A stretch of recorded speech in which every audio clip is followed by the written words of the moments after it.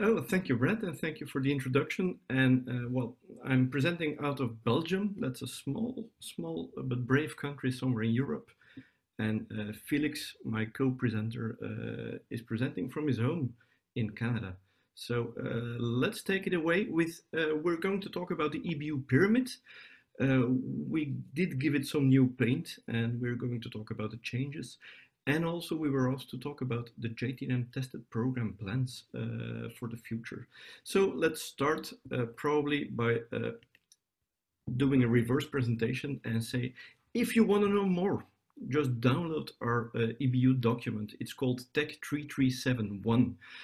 And actually the title of this document and the subtitle of this document is called The Minimum User Requirements to build and manage an IP-based media facility using open standards and open specifications. So with this being said, uh, please note the link, you'll get it afterwards as well. Uh, I'll hand it over to Felix to uh, kick off with the first statement. Yeah, and uh, for anyone who have built a media over IP system already or uh, a facility or a small project, using ST2110 uh, transport, uh, you'll know that this can be a very manual and tedious work uh, compared to what we're used with SDI technology. Um, so imagine the effort when you have to scale that to a full building like uh, the building in, behind me that is the, the, the, new headquarters for the French service uh, in Montreal for CBC. Um, so even worse, imagine the, the fragility of maintaining in operation such a complex system over time.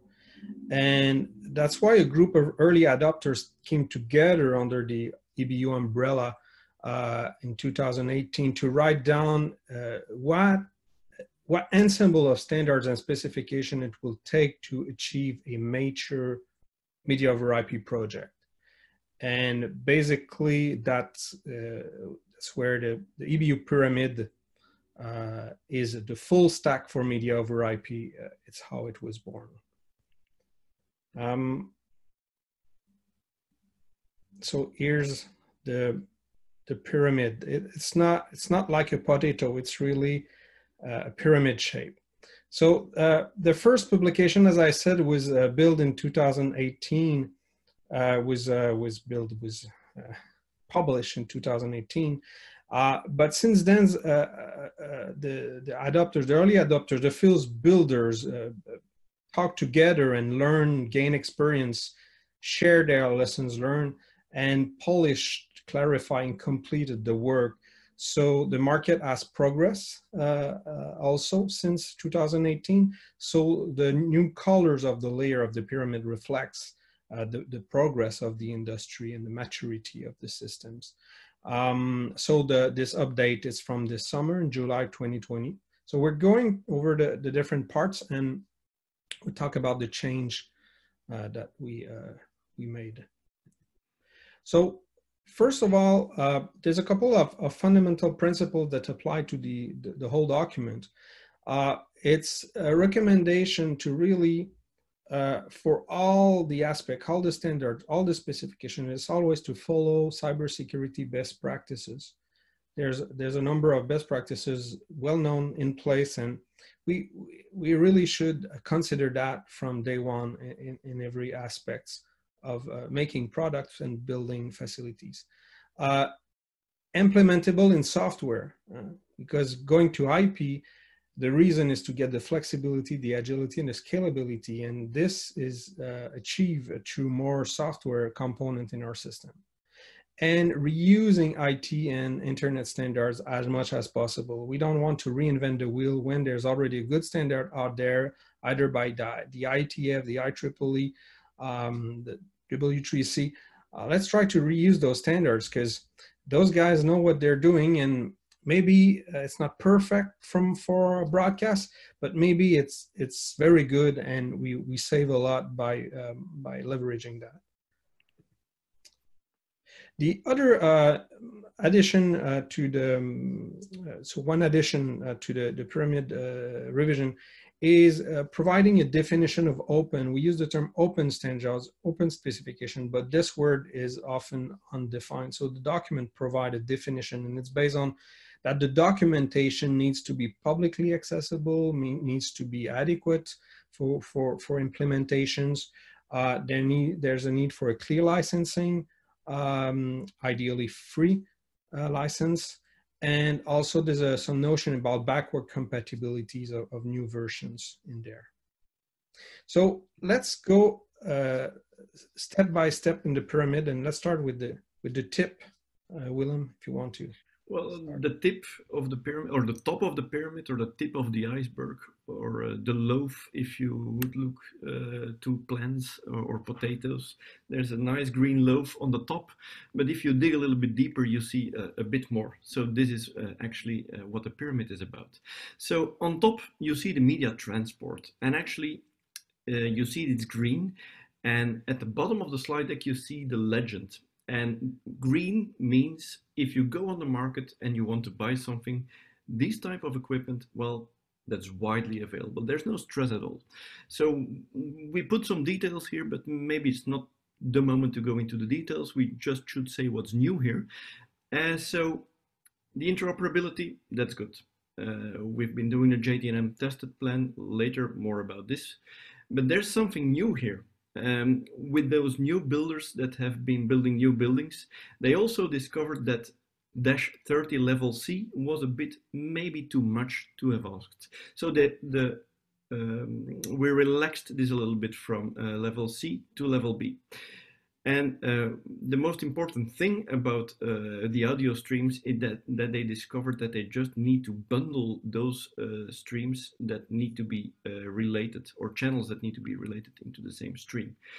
So that's, uh, that's a good part. Even if you look at the results of JTNM tested, many of the boxes or devices or equipment that have been tested have a good score uh, for level B audio. So I think we're, we're on a good roll here.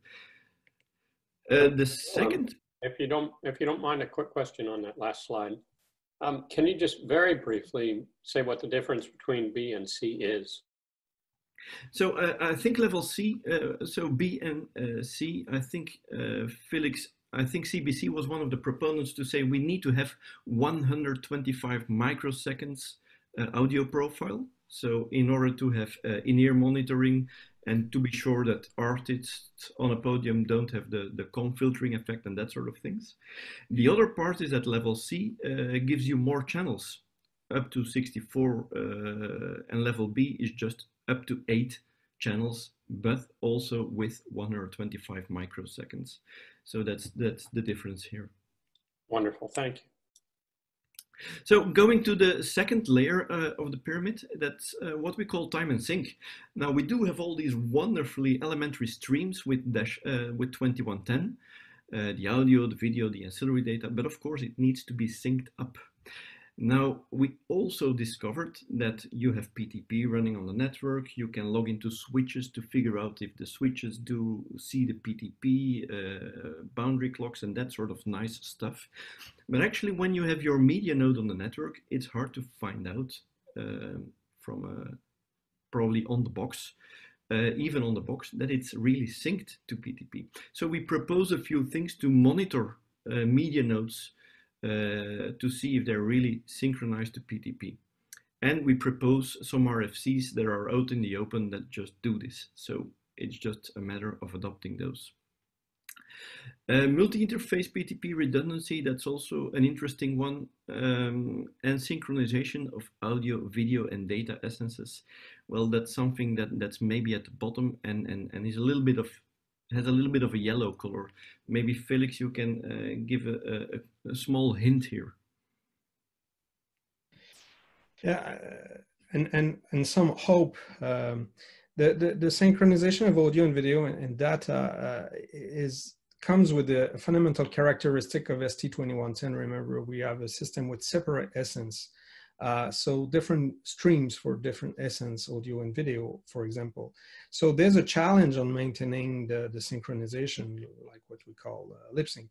Um, in a very simple scenario, um, uh, you know, RTP timestamps of the flow could be used to realign flows that have followed a slightly different path. Uh, and and and this is what RTP timestamps are for. Uh, however, if you build a little bit complex system where uh, flows are going through a number of, of processing devices, you lose that timing information because this time information is reset every time you go into a new device. So uh, I'm aware of some work in the, the SMPTE ST2110-10 revision that will uh, hopefully address that. I'm really confident it will. I'm looking forward because that will be the way to uh, finally um, uh, go away from a full manual timing of the plant like we used to do in SDI and go to a more automated or at least assisted timing uh, with information, uh, timing information within the stream. So uh, stay tuned on that. Uh, but certainly the pyramid will, will re reflect uh, the use of these features when they are available. So for layer three, I would hand over back to you again, Felix. Operational control. Yeah, and, and the good news on this one is uh, we've seen more green here. There's really an uptake in the adoption of the network media open specification, NMOS. Implementations uh, into more device, more product, uh, not just in the lab anymore, but in shipping products. Um, and that's very important news because um, uh, there's really a need for a minimal set of, of control across the board as a common methodology and not a mix of all kind of proprietary uh, uh, protocols. Um, the original pyramid was silent on a key requirement on device control. So now it's added, but then on that one, there's not a common way to do that yet. Uh, so the pyramid calls for an open method, and there's a few uh, in the market that can be defined as an open method uh, according to the definition of open, open that we give in the document. IS-07 is mentioned, and NMOS IS-07, uh, uh, because it currently supports Event and Tally applications.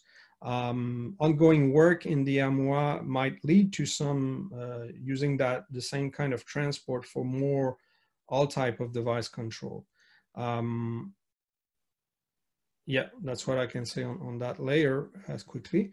And on, on the next layer, um, that one is very important uh, to me because that's really the one that where uh, the configuration monitoring is the, the ability to really uh, build large facility and bring the manageability. I don't know if it's a re real word in English, but of large facility.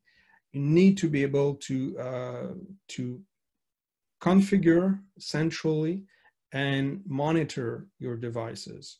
And the requirement in there were clarified um, and strengthened to make, uh, to, to help people to understand what they need to have in their device to achieve that.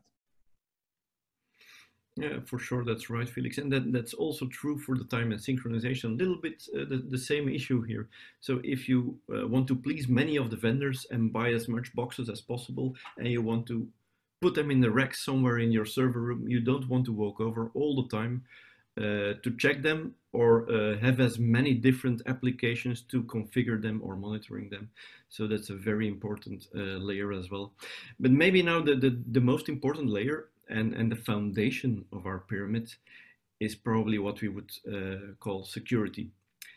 Um, moving from SDI uh, to IP, well, this is a new concern to us. Well, I, am not aware of any virus that runs on SDI, uh, but probably over IP, we've seen a few of them. Um, of course, there are some uh, recommendations. There's uh, a recommendation 148, uh, security tests, uh, security safeguards, etc from EBU. And the previous pyramid mentioned something like, well, it would be very nice if you could secure at least your control uh, to the whole plant. Now we're happy to see that uh, the first part of the AMWA security best practices is published. And uh, we're mm, a little bit less pleased that, well, a small warning and uh, nobody should uh, feel uh, targeted here because we really mean the whole industry. As well as a vendor, as well as a user, we should look more into security because it's not just someone to blame. No, it's all of us. We should be more attentive to, to uh, security. Of course, it doesn't bring you any, uh, let's say, uh, things that will give you a better production, but it's some sort like a, um, well, just to be sure that you can get on air, right? Now, we're pretty pleased uh, to announce something completely different here. So this is the full pyramid, once again, uh, with all the details on it. Uh, we've been over all the layers step by step, but we've been talking about this pyramid for two years now, and we've been talking to uh, NABA, the North American Broadcast Association, as well as to WBU, and they uh, were happy to endorse uh, the pyramid. now, that we have our update, we were asking a little bit more around um, if there's a wider consensus in the industry, and it seems there is. So as well, uh, not just the user bodies, but also the industry bodies like AMWA, SMPTE, and VSF, um, so JTNM, also endorse this pyramid. So we're very happy uh, with uh, this work being uh, endorsed. So if you go to the EBU website and you want to download the pyramid, the official uh, document looks a little bit like this. So if you want to use it, feel free to use, uh, don't change anything, just use it as you see it here and all be good. Now, Felix, how would you use this as a practical tool? This pyramid? Yeah, so the, the document um, EBU Tech uh, 3371 uh, as a as a description of all those uh, items, and uh, uh, one of the usage for it is uh, when you have to design or to architect a system, uh, you use that as a checklist to consider all the different aspects. Does it apply to you? Is it important for you? But at least you don't forget important parts. Uh, and when you, you uh, have to do uh, an RFP or a tender, um, you can use, uh, you can reuse some of the items there, um, some of the vocabulary there uh, in your tender, being a technical requirement or business requirements. And also we have um, produced a tool to help uh, you have a discussion uh, between vendors and, and customers, and that's the maturity checklist.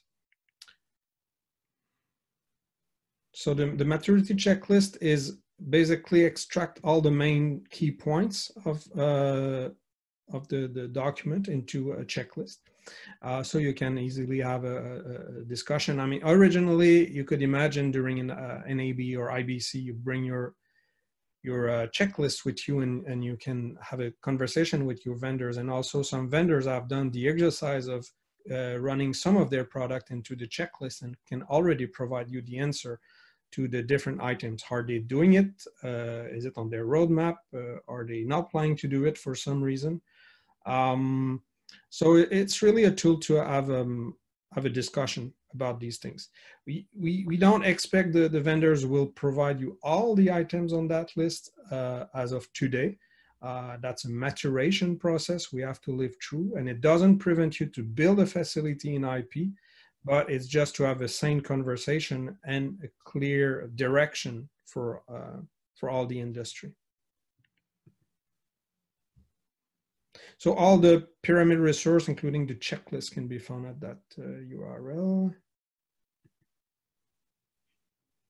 And I leave you the floor, Willem, for the the next part on JTNM tested.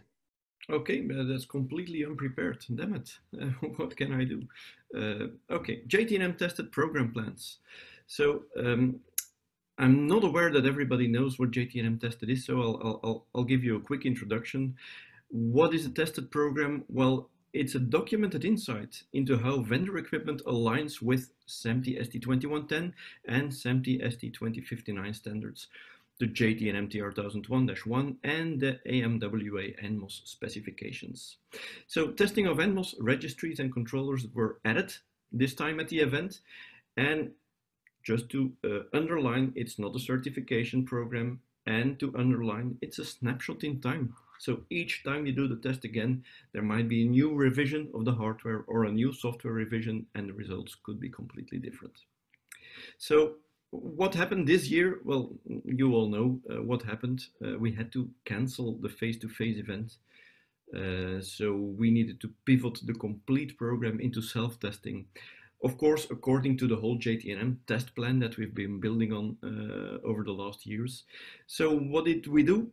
Uh, you see the badges on the right-hand side. Normally there were these circular badges, but we do have two new badges uh, because the dash, uh, sorry, the 2110 test was completely self-tested. So we got the results from the vendors back and uh, documented this into an Excel spreadsheet.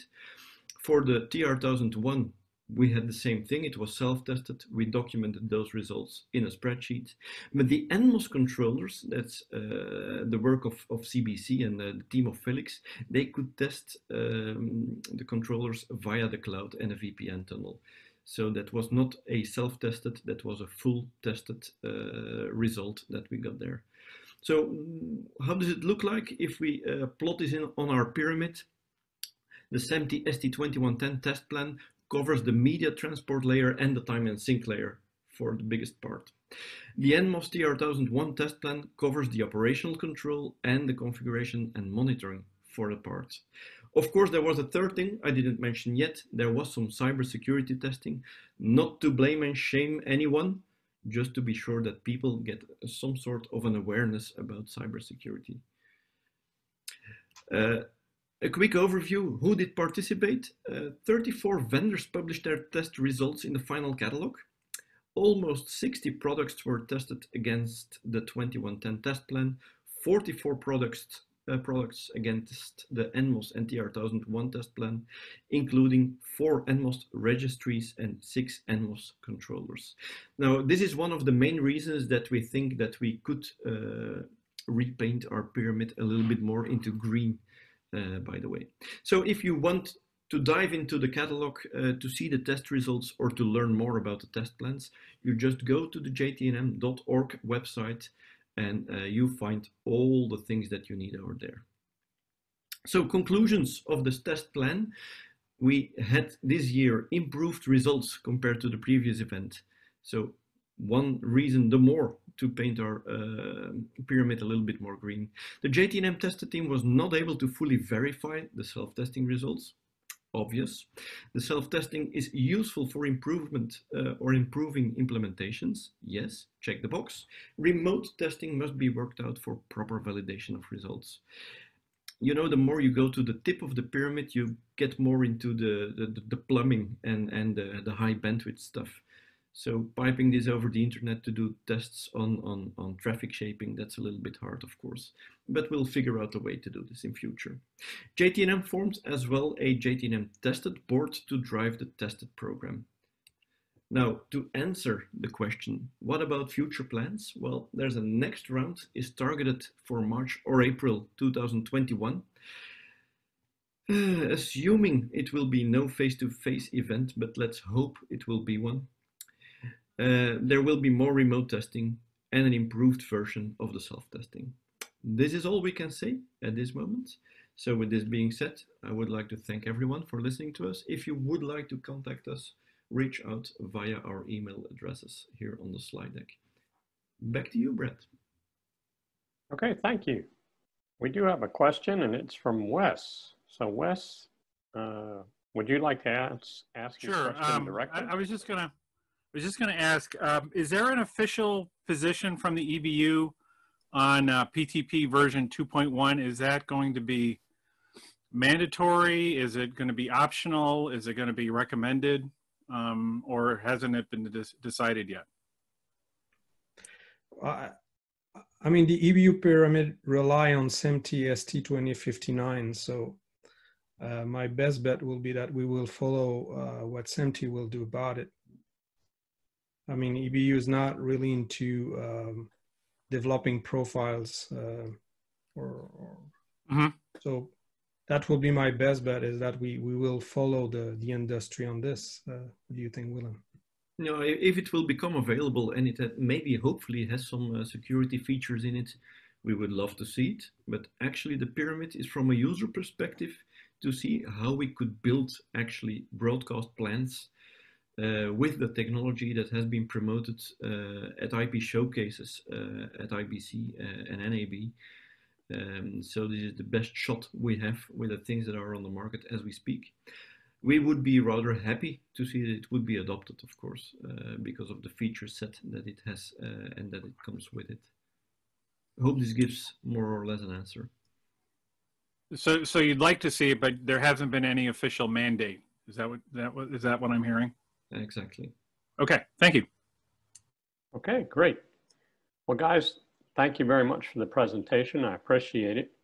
Um, as I don't think you touched on it, but uh, a number of aspects of the pyramid are covered in the JTNM TR 1001-1 document. And uh, John, if you want to just uh, come off your uh, uh, mute and yeah, um, I just uh, on the spur of the moment asked John if he wanted to say anything about the new revision of that coming soon. Well, so uh, as you'd imagine, um, the document came out in the fall of 2018. Many people have implemented, you know, parts of the recommendations of the uh, TR 1001-1, and uh, there was a bit of feedback. So the working group did put together a um, a modified version. It'll be published uh, pretty soon now. It's going through all the wickets of all the different organizations involved in the JTNM. Um, there's nothing breakingly different. We mainly clarified some points that weren't necessarily perfectly clear in the original version, um, added some clarity, added a few, you know, simplifications to some requirements, but overall, it's mainly a cleanup revision to make points clear that maybe people didn't think were clear in the first version. So look for that in a website near you one day. Okay, great. Guys, thank you very much. Appreciate your time, all of you.